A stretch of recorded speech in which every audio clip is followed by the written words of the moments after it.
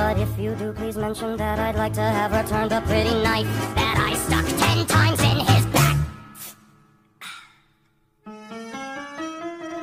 For I sing songs until the break of dawn.